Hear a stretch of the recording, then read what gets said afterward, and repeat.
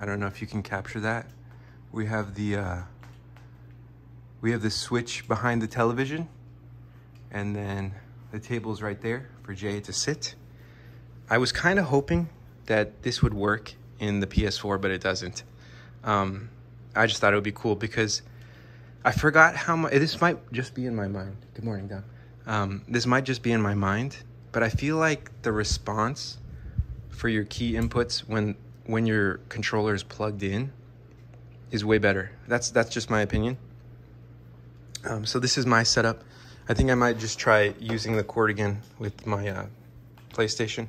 I love this controller, especially with this uh, this back, or I don't know what this is called, but um, PlayStation or Sony, excuse me, you did it right. And then I forget this cord. I, I just like it because it's braided and it's long.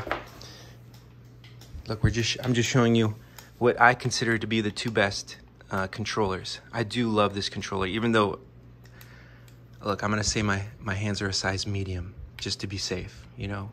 Gloves fit me um, tightly when I wear a medium. So this controller, even though it's kind of smaller, I actually do appreciate it. I do appreciate it a lot. So that's just my two cents.